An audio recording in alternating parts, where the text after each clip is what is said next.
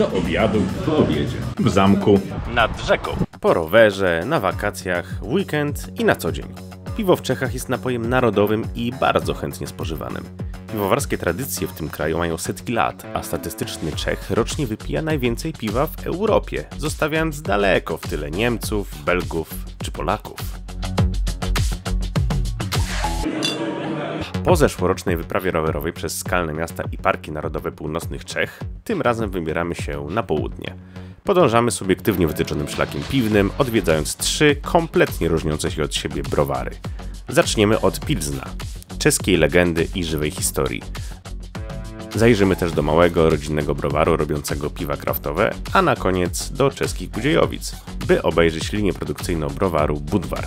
Opowiemy co nieco o historii i teraźniejszości czeskiego piwowarstwa oraz dlaczego naszym zdaniem warto zwiedzać czeskie browary. Browar Pilzneński to najstarszy browar w Czechach. Powstał w 1842 roku i jako mały browar już po 50 latach przekształcił się w sumie w małe miasto. Tak, był, tak duża była fabryka w Pilznie. Produkowane tutaj piwo typu lager bardzo szybko stało się najbardziej popularnym typem piwa nie tylko w Czechach, ale i w Europie, a potem na świecie. Nie bez przyczyny w obecnych czasach e, zamiennie używa się właściwie e, słowa lager lub pilsner. Browar Pilsner Urquell, czyli plzeński prazdroj, uważany jest za prekursora jasnego piwa dolnej fermentacji, czyli lagera. Pomimo potężnego rozrostu produkcji na przestrzeni prawie 200 lat istnienia browaru, sztuka ważenia piwa niewiele się zmieniła. Do produkcji używa się wody ze studni artezyjskich oraz specjalnych czeskich odmian chmielu. Współczesny pilsner ma niecałe 12% ekstraktu oraz 4,4% alkoholu. Wystarczy przejechać przez tą bramę i już przenosimy się do krainy czeskiego browaru. Zabytkową bramę ujrzymy na etykiecie każdej butelki.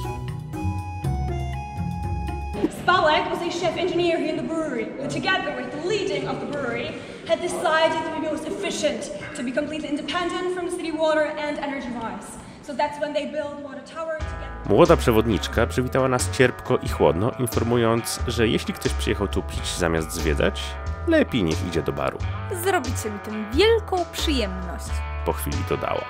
Jak się okazało, wiedziała co mówi. Podchmielona grupa, bardziej niż zgłębianiem historii prazdroju pilzyńskiego, była zainteresowana na przykład pożyczeniem sobie ciuchci z wystawy.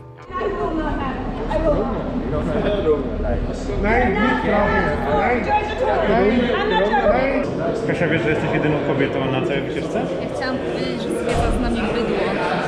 Poza męskim potem w windzie czuję jeszcze e, smuć. Welcome to the city where the world famous Pilsner Urquell beer began over 170 It started in the early 19th century when the Bavarian beer style using neat bottom fermentation became popular. Co, Kasia, kręcisz chmiel teraz, tak? Można sobie spróbować. Gorzki pewnie? Smakuje jak jedzenie dla chomika. No i z tego takie piw, pyszne piwko powstaje. Standardowy program zwiedzania obejmuje krótką historię najsłynniejszego czeskiego piwa, opowieść krok po kroku, w jaki sposób powstaje.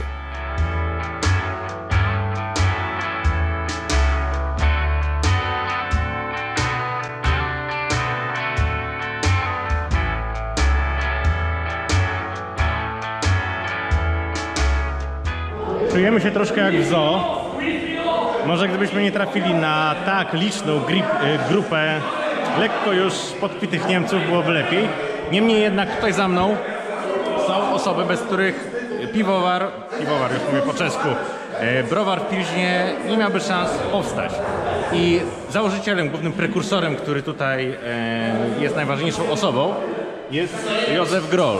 Pani nam zadała przed chwilą pytanie, jak myślicie, ile on ma lat?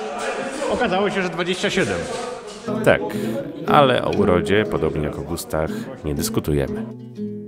Na końcu odwiedzamy zabytkowe piwnice browaru i oczywiście próbujemy niefiltrowanego pilznera. Program jest przygotowany całkiem ciekawie. Wycieczka trwa w sumie półtorej godziny.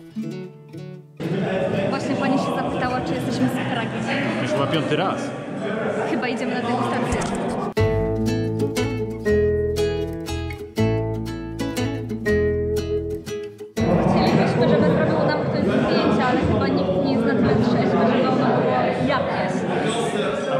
Trzymać aparat. I to jest jeszcze chyba jedyne miejsce, gdzie przewodnik pije z nami piwo. Pije piwo w pracy.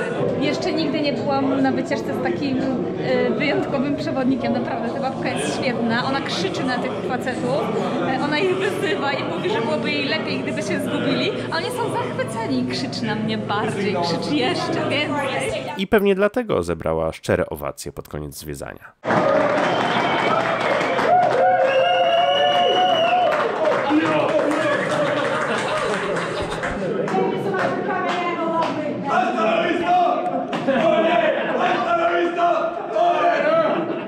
Obecnie w browarze w Pilźnie produkuje się nie tylko Pilznera, ale także piwo Radegast, Kozel i Gambrinus, czyli takie najpopularniejsze y, Pilznery, lagery w Czechach.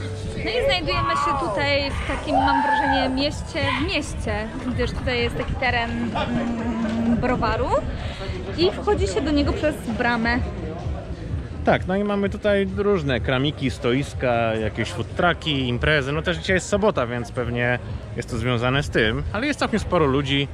Wstęp akurat tutaj na, na tę część jest bezpłatny, więc na pewno jest tutaj też sporo mieszkańców, którzy sobie w ten sposób spędzają czas. Samo Pilzno jest przyjemnym miastem z ładną starówką. Warto w nim zostać choć jeden dzień. Czwarte co do liczby ludności miasto kraju słynie nie tylko z fabryki piwa, ale również z zakładów Skoda Transportation. Auta i pojazdy szynowe produkuje się w Pilźnie niewiele krócej niż słynnego lagera. A my podążamy dalej naszym chmielowym szlakiem. Browarowe wycieczki po Czechach ciąg dalszy. Wczoraj byliśmy w Pilźnie, dzisiaj już wyjeżdżamy z tego miasteczka, aby odwiedzić podmiejski browar Bizon, tak? Bizon się nazywał. W Czyżicach, dosłownie 10 km od Pilzna, który będzie zupełnie inny niż ten, który Wam przed chwilą pokazaliśmy. Dziewiąta rano, czas na piwo.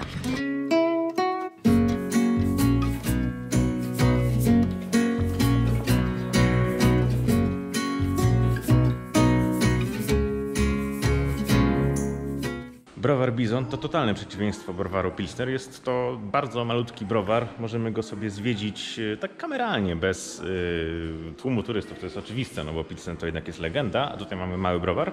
Mały, produkujący piwa kraftowe, innymi IPy, które w Czechach wcale nie są aż tak popularne, jakby się mogło wydawać. Czescy piwowarzy przywiązują ogromną wagę do tradycji. Choć browarów w całym kraju jest ponad 300, większość z nich serwuje głównie jasne lagery. Kraftowe, mocno nachmielone lub owocowe piwa znajdziemy tutaj z rzadka. A prosząc w pawie o sok do piwa, możemy przyprawić barmana o zawał serca. Nigdy tego nie róbcie. but uh, if we are talking about uh, new beer styles or modern beer styles, it's doesn't matter if is it uh, more sweet or or bitter because No, pachnie. Także wczoraj dla porównania zwiedzaliśmy wielki, taki wręcz przemysłowy browar znany właściwie na całym świecie, do którego przyjeżdżały wycieczki, co 10 minut jest tour po całym browarze. Dzisiaj jesteśmy w browarze Bizon, który jest właściwie rodzinny. Jest pracuje tutaj około 6 osób. Oprowadzał nas chłopak, który no nie jest piwowarem, ale jest synem właściciela e, i pokazywał nam po prostu swoją pracę, pokazywał nam swoją pasję. Rozmawialiśmy sobie o piwach, dał nam spró- spróbować y, wszystkich gazunków, które są tutaj do spróbowania. Czuć tutaj po, po prostu atmosferę rodzinną, czuć tutaj naprawdę klimat i miłość do piwa. Rok temu też odwiedzaliśmy kraftowy czeski browar.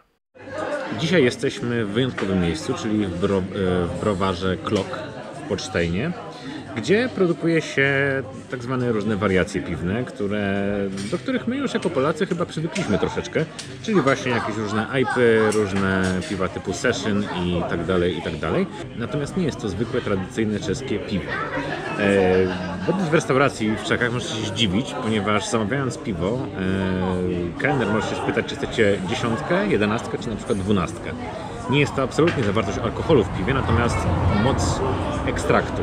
co przekłada się bezpośrednio na moc i goryczkę. W Czechach nalewanie piwa jest prawdziwą sztuką. Robi się to na cztery sposoby. Najczęściej spotykany to chladinka, gdzie gęsta piana powinna być na tak zwane dwa palce. Szczególnie na zachodzie Czech jest to popularne. Możecie poprosić kelnera e, albo sam się was zapyta, jakie piwo wam nalać, jaką pianą.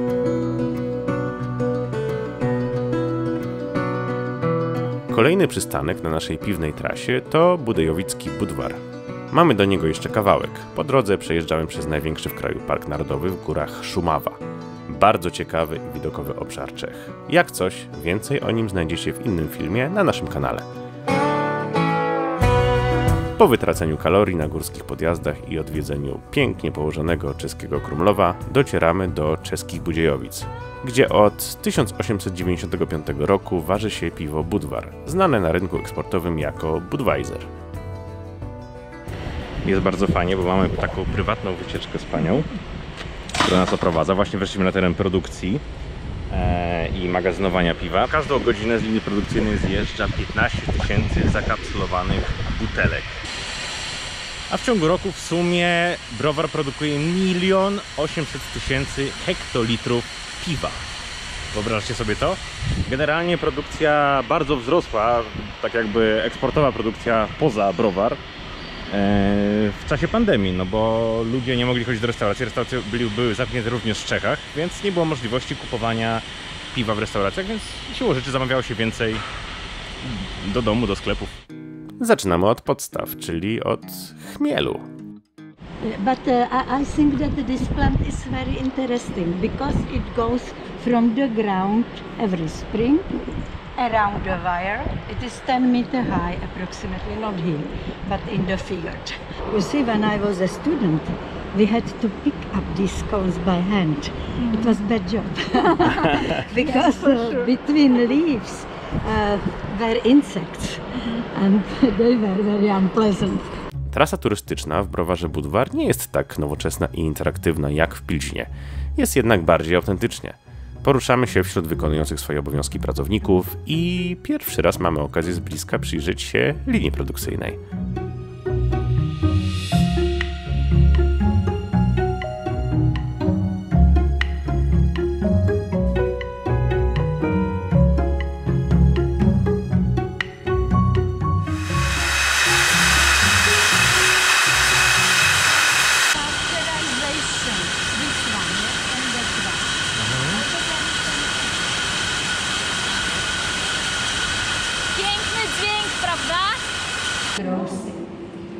Is our original beer. Your beer, please. Polecamy! Oby udało Wam się trafić na naszą sympatyczną przewodniczkę. Na koniec kilka pamiątkowych zdjęć i wsiadamy na rowery. Wszystko co dobre szybko się kończy, czas wracać do Polski. Dajcie znać, co Wy uważacie w temacie kunsztu i legendarnego smaku czeskiego piwa. Podoba Wam się ta tradycja, czy jesteście raczej zwolennikami eksperymentów i wariacji, jakie możemy znaleźć w polskim browarnictwie? I to by było na tyle, jeżeli chodzi o czeskie piwo. Tymczasem my zapraszamy Was do innych filmów z Czech. Oraz do zostania z nami na dłużej.